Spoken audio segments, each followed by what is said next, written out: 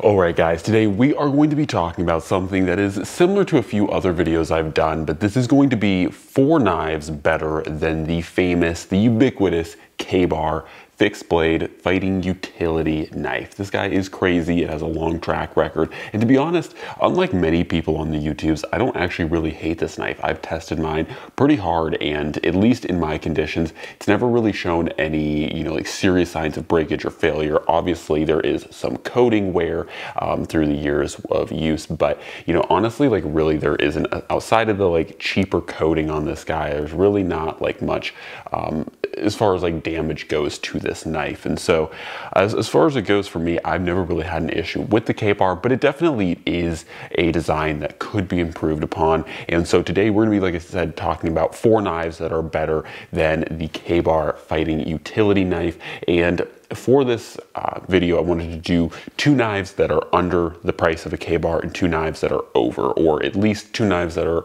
under it or very close, I should say, um, and then two knives that are over. In addition to this two, we're gonna be talking about two knives that are more wilderness focused and then two knives that are more tactically focused. So I wanted to give you guys at least a good range of use cases because I always get uh, comments when I do these typical comparisons so that, you know, like say I pull out this OKC Rat 7 and they're like, well, that's, you know, a, a survival knife or that's a field knife. And technically, in my opinion and from what I can see, a lot of the marketing is very same. This is a field knife knife right here, and this is a field knife here as well. And once again, this is a fighting utility knife. This is a utility knife, not as much of a fighting knife, but honestly, like a lot of these words are very homogenous and kind of go together. Even if you personally feel a way, that's just the way marketing is, right? So I wanted to try to give you guys as wide of a span within four knives as I could, but of course, bear in mind that this isn't exactly perfect. So the first one up on the list is going to be, once again, fighting oriented, and this one is going to be my slightly modified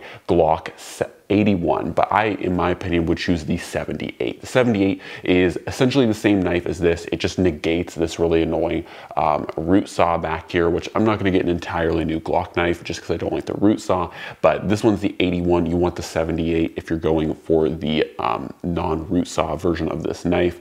But either way, this one, once again, is a fighting knife, as you can tell, very similar in kind of overall design ethos to the K-Bar. You guys so you guys can see they're very similar in design ethos. Now, the one thing that I do actually ironically like, well, I guess there's a couple things I like about the Glock knife over the K-bar, and I think the Glock knife gets it right in a couple ways. So first off, the big thing is I like the steel selection. This is 5160 spring steel. It is around the same thickness as the K-bar at 3 16ths of an inch thick, but the spring steel definitely allows you a greater shock resistance. So there is that. And then they do a kind of bent or forward angled um, upper guard here, and this is actually meant to slot in or help bypass the barrel of the Steyr AUG because this is originally designed as a bayonet above all. But what this does conversely for the end user, you and me, is that it's a bent forward or upper guard, so it makes it much easier for you to put your thumb on the spine. Now, granted, this has the root saw on the back, so I wouldn't really recommend putting your thumb there in the first place. But once again, if we're talking about the 78 where it just has the normal spine, I would say that this is a really good addition because once again, this bent um, upper guard is, it works very well for you to easily bypass that upper guard. Whereas on the K-bar, you really, like you can physically bypass it, but even still, I feel that with my thumb there. So it is not very easy or it's very noticeable when you do.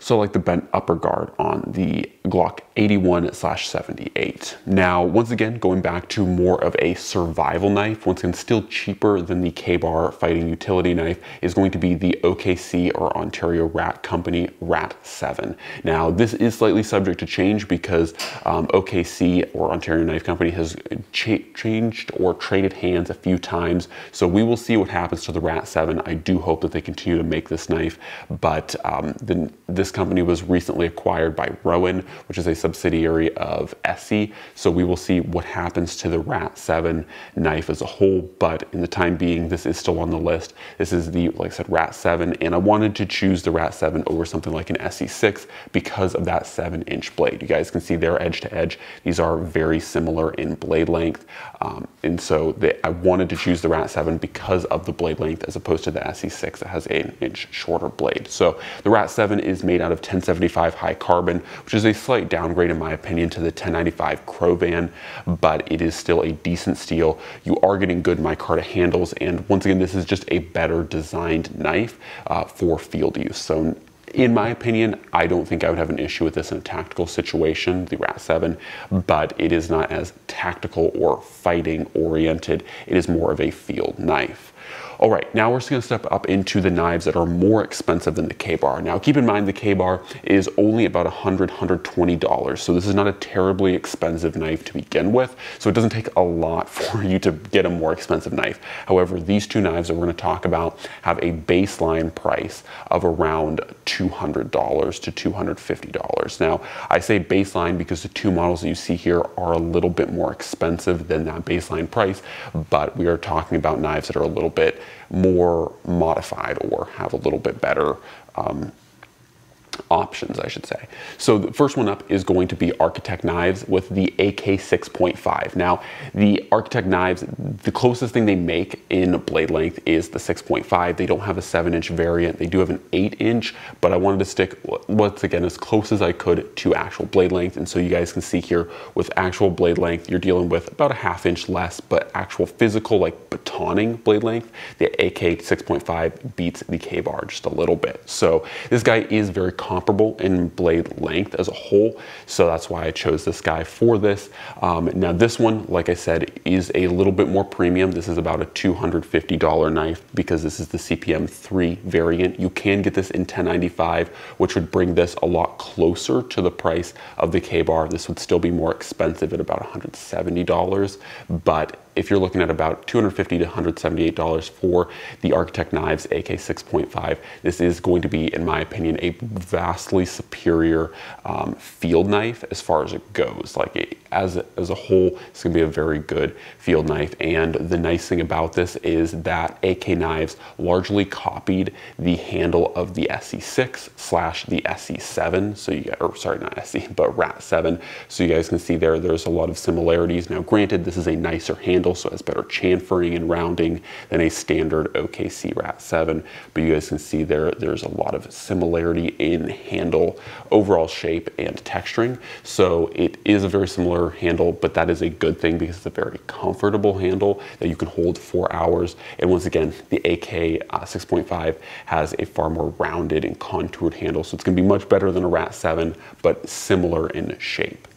So that is the first one, at least that's more of a field knife. Now the more fighting styled knife, and some might argue this is still more of a field knife, but this is technically a tactical knife. This is designed for tactical stuff, whatever you want to quantify that is. But this is the Bark River Knives um, Strike Force 2, sorry. Uh, yeah, this is a Strike Force 2, and this one is also in CPM 3V. Now, once again, this is a, an exception, I have to say. This is a more expensive version of the Strike Force because it does use a more premium steel, and it also uses these very gorgeous, as you guys can see here, um, I think it's like Thuya or Thulia handled, burl handled wood um, grips. And then of course you got those beautiful mosaic um, pins there. So obviously this is going to be a more expensive, more fancy version of the Strike Force 2. But the Strike Force 2 um, I chose because once again, we're dealing with similar blade lengths. The Strike Force 2 is just a little bit, just a scotch smaller, but it's very similar in, sorry, you guys can't really see that, a little too close to the camera, but you guys can see there a little bit um, shorter on that one, but this is more of a fighting styled knife. You have a little bit of that reminiscent kukri curve or recurve towards the back of the edge there, and then you have definitely a very, you know, um, choppy styled knife. And then once again, to kind of finish that tactical-esque style, you have a long running swedge on the back. I'm not saying that you'd necessarily want to use this in a reverse grip um, or for stabbing, but once again, if you're labeling this as a fighting knife, this would also be a decent fighting knife too. Um, once again, very similar blade length, and this is definitely a more stabby knife. You got your nice little um, kind of running fuller, if you will, here. It's uh, kind of complex. I don't know if I'd quite call this a fuller or not, but technically it is fuller inspired. So you have a little bit of a fuller there, similar to the fuller on the K-bar. So once again, you're dealing with a definitely more tactical knife here. And I think that that uh, rounds it out for more expensive, more um, tactical styled knife. Then, like I said, you got your AK 6.5 for your more expensive field knife.